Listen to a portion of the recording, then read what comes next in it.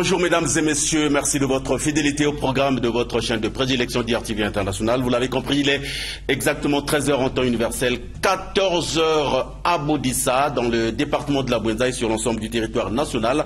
C'est le journal, mais tout d'abord les titres de l'actualité. Être volontaire aujourd'hui pour un avenir euh, commun, c'est sous ce thème que se célèbre ce dimanche 5 décembre la journée internationale des volontaires. Au Congo, le gouvernement a rendu public un message qui encourage les jeunes au volontariat.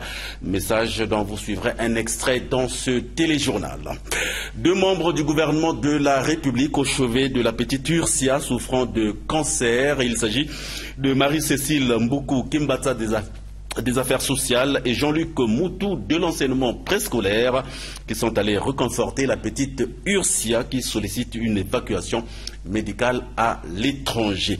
Et puis en culture, Roga Roga au firmament de sa gloire, l'artiste musicien congolais a présenté euh, ce week-end ses trophées aux chroniqueurs euh, culturels de la place, euh, trophée décroché après la sortie de son maxi single Bokoko qui fait du buzz euh, dans les réseaux sociaux. Voilà, mesdames et messieurs, pour la vitrine de ce 14 heures. Nous serons ensemble pendant pratiquement 30 minutes d'information. Nous sommes bien entendu le dimanche 5 décembre 2021. Euh, Une fois de plus, bonjour et merci à vous tous qui venez à l'instant même de nous rejoindre. Ouvrons ce journal par ce geste de charité manifesté, euh, comme nous le disions dans les titres, par deux ministres du gouvernement de la République. Il s'agit de la ministre Marie-Cécile Mboukou Kimbata des Affaires sociales et de Jean-Luc Moutou de l'enseignement préscolaire qui sont allés au CHU euh, de Brazzaville rendre visite à la petite Ursia Panzou souffrant de cancer et actuellement admise au service de cancérologie du CHUB. Objectif affiché par les deux membres du gouvernement, s'enquérir de la situation de la petite Ursia, situation qui nécessite beaucoup de fonds nécessaires pour une évacuation sanitaire à l'étranger. Suivez ce reportage. L'aide concernant les soins de la petite Ursia Pandou souffrant d'une tumeur à l'œil droit admise au CHU de Brazzaville se poursuit. Les ministres des Affaires sociales, de l'Action humanitaire et de la solidarité, Marie-Cécile Mboukou-Kimbanza, et de l'enseignement préscolaire primaire, secondaire et de l'alphabétisation, Jean-Luc Moutou, étaient au chevet de la petite pour un geste de solidarité. Ils ont remis une enveloppe dont le montant n'a pas été révélé. La ministre Marie-Cécile Mboukou-Kimbanza sous le mobile de la visite. Monsieur le ministre de l'enseignement préscolaire, scolaire et primaire et secondaire, qui est là avec moi, euh, nous avons voulu rendre visite euh, à la petite. Et puis, euh, puisque les traitements ont commencé, et apporter ce que nous pourrons avons pu réunir pour, pour, pour cela. Clash Miananzambi, président de l'association Club Jeunesse Consciente qui facilite la prise en charge sanitaire de la fille, parle de l'évolution de l'état de santé de l'enfant. Nous avons commencé avec la chimiothérapie parce qu'au départ, nous avons pu récolter des fonds des donateurs, des personnes privées, mais par la visite encore de la ministre de des Affaires sociales et le ministre de l'Enseignement, euh, leur soutient aussi, nous remercions cela. Mais sinon, nous avançons, sinon nous avons eu un grand retard. Euh, mais en ce moment, le CHU a pris le cas de Ursia Panzo, euh, a fait de ce cas une priorité. Et nous venons tous les jours pour assister, pour accompagner, parce qu'il y a des examens à faire du jour au lendemain, il y a des ordonnances, des produits à acheter. Mais pour l'instant, je pense que l'enfant euh, se porte euh, mieux. Nous avons commencé le traitement. Mais donc le reste, euh, les informations suivront après chaque étape. Espérons qu'avec cette aide, la petite Ursia Panzou trouvera les soins nécessaires pour son rétablissement. Voilà, l'humanité célèbre ce dimanche 5 décembre la journée internationale des volontaires sur le thème, sur le thème donc être volontaire aujourd'hui pour un avenir commun. À cet effet, le gouvernement euh, a rendu public un message dans lequel il encourage la jeunesse dans l'action du volontariat. Je vous propose sans plus tarder de suivre l'extrait de cette déclaration lue par euh, le ministre en charge de la jeunesse, Hugo Ngwelendele, dans des propos recueillis par Evrard Ntikasumba. le 5 décembre 1985, elle instituait la Journée internationale des volontaires avec pour objectif de souligner l'importance de la contribution des volontaires au développement socio-économique des communautés. Cette année, dans un contexte sanitaire toujours dominé par la pandémie à coronavirus Covid-19, l'humanité célèbre cette journée sous le thème Être volontaire aujourd'hui pour un avenir commun. Par ce thème, l'Organisation des Nations Unies veut reconnaître et soutenir l'esprit de volontariat pour aider à créer un avenir meilleur, tout en mettant en évidence les actions locales des volontaires dans la lutte contre la pandémie à coronavirus Covid-19. Pour rappel, en décembre 2010 à Abuja, au Nigeria, l'Union africaine lançait son corps des jeunes volontaires. Dans le souci de s'arrimer à la vision des agendas 2063 de l'Union africaine et 2030 des Nations unies. Le gouvernement de la République, sous l'impulsion de son Excellence M. Denis Sassou président de la République, chef de l'État, multiplier les initiatives portant sur le volontariat, notamment l'organisation de la neuvième session de formation pré-déploiement du corps des jeunes volontaires de l'Union africaine en novembre 2018 dans la commune de Kintele. Voilà, c'était là un extrait du euh, ministre, euh, donc euh, de la déclaration du gouvernement lue par le ministre Hugues Nguelondeli concernant la journée internationale du volontariat. L'avis de grève des enseignants à compter du lundi, donc demain 6 décembre, lancé il y a quelques jours par les différents syndicats des enseignants, n'est pas levé, mais plutôt suspendu. Les responsables de ces syndicats se sont donné rendez-vous donc demain lundi 6 décembre même, au guichet unique de traitement de leur dossier pour se rendre compte du travail qui se fait. C'est ce qui ressort des entretiens qu'a eu euh, hier le ministre Jean-Luc Moutou avec les forces unies des syndicats des enseignants du Congo d'une part et d'autre part avec les syndicats des enseignants bénévoles et prestataires. On fait tout de suite le point dans ce reportage signé Léonie Tsomou, Henri Mavambo. Ce sont des échanges qui ont permis de faire le point exhaustif sur les questions profondes de ce sous-secteur de l'éducation. Bien que tendu, notamment avec les forces unies des syndicats des enseignants du Congo, ce face-à-face gouvernement-syndicat a été l'occasion de passer en revue les différents points inscrits dans le cahier des charges des enseignants entre autres la publication des textes de recrutement, l'utilisation des quotas à la fonction publique, l'affectation des enseignants communautaires la situation des enseignants bénévoles âgés de plus de 45 ans. Des préoccupations que le ministre Jean-Luc Moutou, qui avait à ses côtés les directeurs du cabinet, du ministre de l'enseignement technique et celui de la fonction publique, a apporté des réponses. Les deux parties se sont donné rendez-vous le lundi 6 décembre au guichet unique de traitement des dossiers des enseignants. Nous avons retenu que lundi, l'équipe va être mandatée, c'est-à-dire l'équipe des Fusinec sera mandatée à la fonction publique pour essayer de faire le Saint Thomas de ce qui se passe, de la reprise des travaux là-bas. Vous savez, le guichet unique, tous les sénateurs sont autour d'une table. Nous avons exigé ça parce qu'il y a la rapidité de la publication des textes. Cela avait été accepté depuis longtemps. Mais il y a eu une période où les choses étaient enveilleuses et ça reprend donc le lundi. Voilà pourquoi nous avons dit il faudrait que nous fassions le Saint Thomas pour que nous soyons convaincus et que nous soyons en mesure de convaincre également notre base. Les mêmes préoccupations ont aussi fait l'objet de la rencontre du ministre en charge de l'enseignement général avec le Comité national des enseignants prestataires du Congo et la coordination des diplômés des écoles professionnelles de l'enseignement. Rencontre qui a abouti à la même conclusion, celle de se rendre au guichet unique le 6 décembre prochain pour se rassurer de ce qui se fait.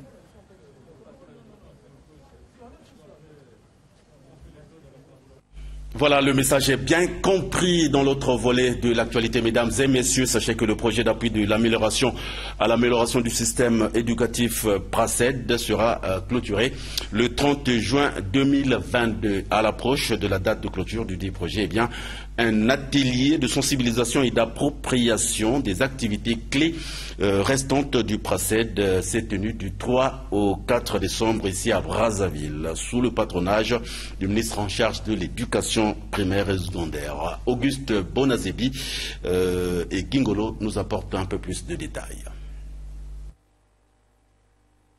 Mis en place en 2016, le projet d'appui à l'amélioration du système éducatif PRACED en sigle, s'est fixé comme objectif de résoudre quelques problèmes constatés au sein du système éducatif congolais, au nombre desquels l'augmentation du taux de redoublement, les abandons scolaires, une faiblesse des acquis et des programmes scolaires. À l'approche de la date de clôture du dit projet, fixée au 30 juin 2022, quelques activités clés restent à réaliser pour booster le taux de décaissement et permettre ainsi d'alimenter le cadre des résultats du dit projet. C'est ce que justifie la tenue de cet atelier de sensibilisation et d'appropriation des activités restantes à exécuter dans le cadre de ce projet. Au cours des travaux qui ont duré deux jours, les participants ont examiné les actions concourant à l'amélioration du système éducatif congolais, comme l'indique le ministre en charge de l'éducation primaire et secondaire. À examiner en toute responsabilité et avec beaucoup d'attention et de lucidité les actions suivantes qui concourent à l'amélioration de notre système éducatif, à savoir la révision des programmes éducatifs des classes restantes, à savoir C1, C2, CM1, CM2, 4e et 3e, l'amélioration de l'évaluation des acquis des élèves. Millions de dollars américains, dont 40 millions de dollars ont été octroyés par la Banque mondiale, soit plus de 2 milliards de francs CFA. Faisons un tour euh, à l'hémicycle. Questions orales avec débat. Les membres du gouvernement, euh, conduits par le Premier ministre Anatole Colini Makosso, étaient face aux sénateurs. Au menu de cette séance, les questions liées à la vie des Congolais qui euh, souffrent en ce moment. David Martial Mossa y était avec Chanel Kifuni.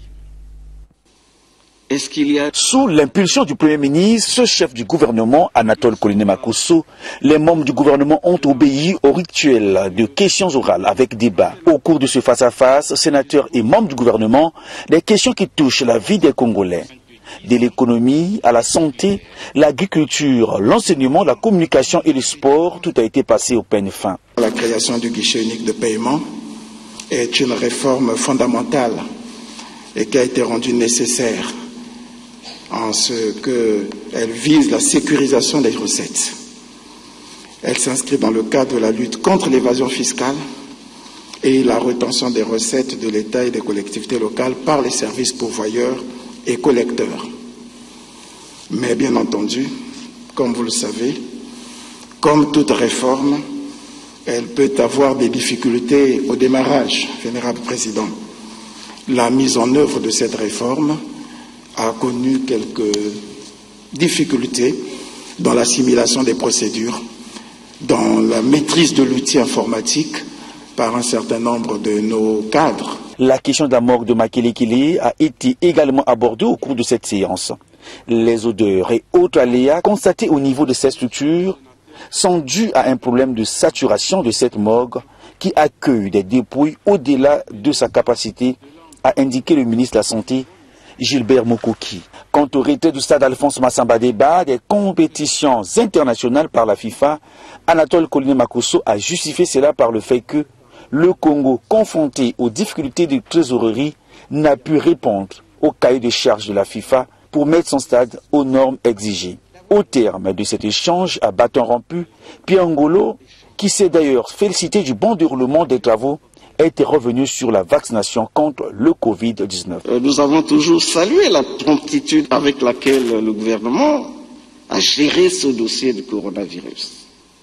Et nous souhaitons que des efforts supplémentaires soient faits sans se lasser pour que les Congolais réticents Pour, ceux, pour que ceux qui subissent la désinformation, surtout telle que menée par les réseaux sociaux, comprennent qui s'impose à nous pour la sécurité de tous.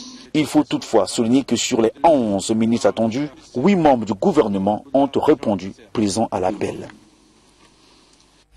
Voilà, allons à Pointe-Noire pour parler de la commune d'Evo dans le département de la Cuvette, exemplaire au sein euh, de l'association des mairies du Congo. Toutefois, l'AMC invite certaines communes à s'acquitter de leurs cotisations statutaires relatives au décès du maire Diefondo. Cette assemblée générale élective de l'AMC s'est tenue à Pointe-Noire qui s'est tenu à Pointe-Noire s'est également penché, sur, euh, sur la question du financement des communautés, des communes du Congo. Jean-Pierre Février est à la manœuvre avec euh, Landré Moudou.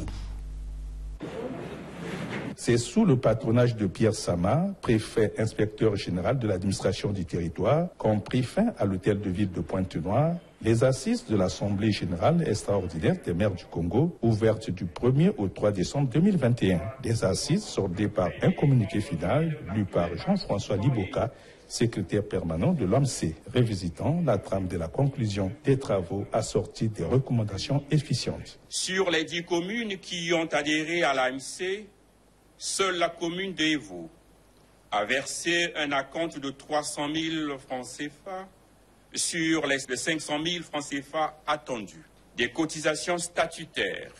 S'agissant des cotisations statutaires, le bureau exécutif a informé les participants du paiement par la ville de Brazzaville des factures de l'AMC auprès de CGLU Afrique, exercice 2020-2021. Des cotisations relatives au décès du maire d'un fondo la somme de 1 400 000 francs CFA a été collectée et remise à la famille du défunt.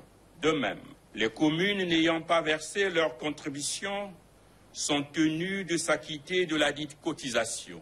Prenant la parole pour son allocution de clôture, Dieudonné Bansimba, président de l'AMC, appréciant la moisson des travaux, a rendu un vibrant hommage au président Sassou Nguesso avant d'énoncer les idées forces dégagées au cours des plénières. Au cours de cette Assemblée générale extraordinaire, les maires se sont également penchés sur la problématique du financement des communes du Congo. Le constat qui se dégage est que cette question reste très préoccupante, avec des arriérés cumulés de salaires qui s'élèvent à 24 milliards 217 millions 140 992 francs CFA, ceux de la CNSS à 46 milliards 581 millions 764 000 francs CFA et les rétrocessions non versées de l'ordre de 21 milliards 617 millions 139 027 francs CFA, soit un total cumulé en charges sociales et rétrocessions de l'État envers les communes du Congo qui s'élève à la somme de 92 milliards 502 millions 459 837 francs CFA à la date du 30 novembre 2021. Un rendez-vous de Pointe-Noire ayant permis aux maires du Congo d'extérioriser la gestion fonctionnelle des collectivités locales tout en projetant la tenue en janvier 2022 dans les villes de Popola et Ouissou, la prochaine assemblée de l'AMC.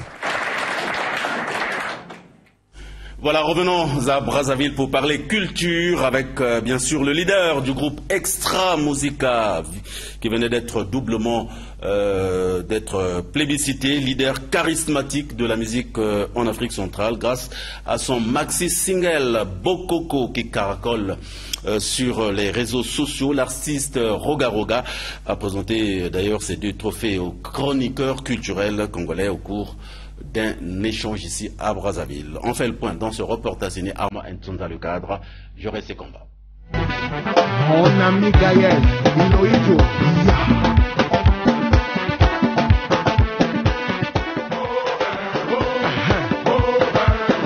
Bokoko a atteint plus de 4 millions de vues en un mois. Le chef-d'œuvre est devenu un hymne planétaire sur les réseaux sociaux, dans les bars, dans les restaurants, dans les bistrots, dans les rues et avenues et même dans les foyers. Partout, ça danse pour grands et petits, une véritable renaissance du folklore congolais, et jamais dans l'histoire de la musique congolaise cela s'est produit. Aujourd'hui, le monde entier est fixé sur la valeur artistique de Roga Roga, patron du groupe Extra Musica, qui est sans nul doute le meilleur de sa génération. Bokoko, maxi single du moment, lui a valu un double trophée Koundé d'or obtenu au Burkina Faso et à Abidjan en Côte d'Ivoire le 14 et 25 novembre dernier en tant que leader charismatique de la musique en Afrique centrale et pour sa contribution à la valorisation de l'art et des industries créatives. Devant les chroniqueurs culturels, l'artiste a révélé les secrets sur le projet Bokoko, une musique qui marque bien le retour à l'authenticité. On peut décider aujourd'hui de réaliser un projet sur une chanson, mais l'impact, on ne peut pas définir. Parce que ça, ça vient de l'au-delà. C'est vrai, on a eu à réaliser aussi des chansons comme État-major qui a marché, on a eu des chansons ainsi de suite. Mais l'impact de Bokok aujourd'hui, ça va aussi de pair avec euh, l'esprit d'aujourd'hui. Hein. Nous avons Internet qui, pousse plus vite des projets. Donc, euh, on se retrouve aujourd'hui avec 4 millions de vues en un mois. Et je pense que c'est les fanatiques, c'est les mélomanes, les, les, les, gens qui adorent la bonne musique, qui ont fait à ce que aujourd'hui euh, Bokoko est accepté partout. Roga Roga est fier de cet exploit qui valorise la musique congolaise hors de nos frontières. L'artiste a bien voulu apporter une nouvelle touche dans sa musique pour faire danser le public autrement. Plusieurs tournées sont prévues en Afrique et en Europe dans le cadre de la promotion du maxi single. Ces trophées de plus représentent de l'art dans sa carrière musicale. Mais il faut savoir que Roga Roga a des projets de jouer dans des grandes salles de spectacle en Europe. Mais il est confronté à des difficultés financières. À cela s'ajoute le phénomène des combattants qui empêche les artistes musiciens congolais des deux rives de se produire en France. Voilà, toujours en culture, parlant de cette dépêche qui nous fait état de la table ronde sur la rumba congolaise ayant réuni les experts de la République démocratique du Congo RDC et ceux de la République du Congo du 3 au 4 décembre dernier ici à Brazzaville qui s'est achevé par une série de recommandations. Les participants ont donc recommandé, entre autres, d'inscrire la rumba congolaise dans les programmes scolaires et universitaires. Cette table ronde a eu pour objectif de mener une réflexion plurielle sur la rumba congolaise dans euh, l'optique de son inscription sur la liste représentative du patrimoine culturel immatériel de l'humanité. Et puis du sport, avant de nous séparer, tour de cadrage de la Coupe de la Confédération africaine de football CAF. Euh, Gormaya du Kenya reçoit cet après-midi sur sa pelouse, eh bien, l'AS Doyo, en tout cas, euh, au match aller, rappelons que les protégés du coach Aloubadra euh, l'avaient petitement emporté sur le score d'un but à zéro. Il faudra donc une victoire ou alors un match nul euh, à l'AS Auto pour prétendre euh, entrer dans la phase des poules. Mission délicate, mais peut-être pas impossible. En Europe, euh, un mot en Europe, toujours en sport avec Paris Saint-Germain qui l'a échappé belle hier face à Lens. Les Lensois ont ouvert le score et Paris a dû faire recours à sa dernière énergie pour revenir à hauteur de Lens à la 92e minute. C'était donc dans le temps additionnel que Paris a égalisé. Score final, un but partout. Euh, et malgré ce nul, Paris reste toujours leader de la Ligue 1. Parlons d'un autre leader, celui de la Liga. Nous sommes là, vous l'avez compris, en Espagne avec le Real de Madrid grâce à son idole Vini Junior qui l'a emporté 2 buts à 0 face à la Real Sociedad. Une fausse note. La sortie sur blessure d'une autre idole. Il s'agit de Karim Benzema, mais plus de peur que de mal. En Angleterre, c'est Manchester City opportuniste qui prend désormais les commandes de la Première Ligue après sa victoire. Voilà complètement terminé, mesdames et messieurs. Merci à vous tous de l'avoir suivi. Mais sachez que un nageur sur une rivière ne ressort que là où il a laissé ses habits. On se retrouve à la prochaine occasion. Bon week-end à toutes et à tous. Au revoir et à la prochaine occasion.